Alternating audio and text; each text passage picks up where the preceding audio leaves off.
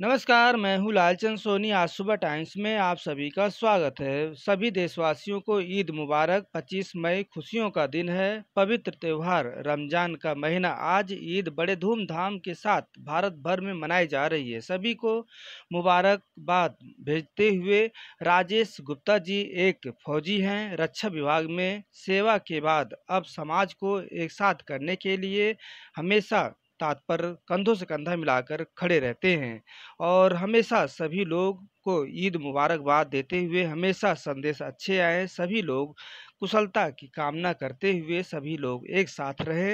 यही कामना करते हुए राजेश गुप्ता जी के जुबानी से एक रिपोर्ट देखिए। ईद मुबारक हो आप सब लोगों को। Rajesh Gupta AC chief Kanpur.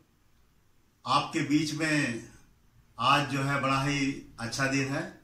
आपको याद होगा कि जब एक महीना रमज़ान का ख़त्म होता है तो उसको ईद के रूप में मनाते हैं और उसमें सबसे पहले नमाज़ अदा करते हैं और नमाज़ अदा करने के बाद जो है सबको बधाइयाँ देते हैं, एक दूसरे से मिलते हैं।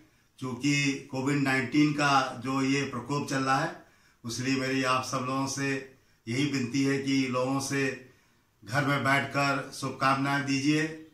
और घर में बैठ कर ही अपनी भावनाओं से गले मिलिए, भावनाओं से दिल दिल मिलिए और दिलों को मिलाइए। क्योंकि हमारा जो ये पवित्र महीना जो था, उसमें हम लोगों ने बहुत ही बरक्कत की, प्रार्थना करी, बहुत ही प्रेम मोहब्बत की प्रार्थना करी, बहुत ही लोगों की सहायता करी और आज के दिन हम लोग जो है ईद के रूप में मनाकर अपना ये प्यार जो है बांट रहे हैं। उस प्यार को हम ऐसे बांटे कि हमें लगे ही नहीं कि हम मानवता के किसी भी जगह पर जो है खड़े नहीं उतरे हैं।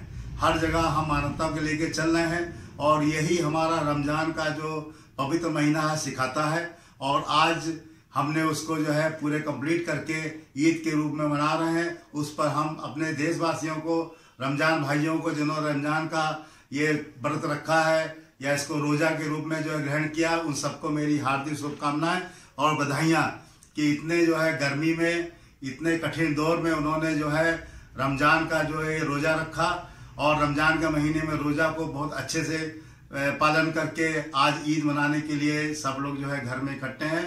तो नमाज़ भी आप घर के अंदर पढ़िए, सबको शुभकामनाएँ भी घर के अंदर दीजिए और गले से गले मिलिए, दिल से दिल मिलाइए, मगर आप घर बैठ के मिलाइए, यही आपकी सबसे बड़ी जो है इस कोविड 19 को हराने की आपकी सबसे बड़ी जीत और हमारे देश की सबसे बड़ी जीत और विश्व में हमारे देश का सबसे बड़ा यह लहराता हुआ तिरंगा आपको ईद की शुभकामनाओं के साथ जो है देश में, विदेश में जो है, आगे बढ़े, भारत देश, यही हमारी आप सब लोगों से शुभकामनाएँ हैं और यही आपसे प्रार्थना करता हूँ कि ईद की शुभकामनाओं के साथ आप लोग घर में बैठ के सिमैया खाइए, मिठाई खाइए, फल खाइए, दूसरे को खिलाइए, मगर कैसे प्यार और मोहब्बत से व्हाट्सएप से भेजकर एक दूसरे से आने जाने का कार्यक्रम मत रखिए, क्योंकि हमें कोविड 19 का लॉकडाउन का पालन भी करना है और देश के सरकार के दिशा निर्देशों का भी पालन करना, यही मेरी आप लोगों से विनती और प्रार्थना है। और यही मेरा आप लोगों से एक आग्रह भी है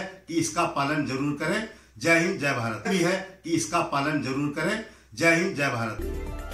सभी लोगों से विनती है कि आप स्वच्छ, सुंदर रखें अपना घर और बेटी बचाओ, बेटी पढ़ाओ, पेड़ अधिक से अधिक लगाओ और इन्वायरमेंट को स्वच्छ करो, सुंदर जल नमस्कार दोस्तों, मेरे चैनल को सब्सक्राइब, लाइक करें और आइकॉन को ज़रूर दबाएँ ताकि आने वाले वीडियो को आपको नोटिफिकेशन मिल जाए। धन्यवाद।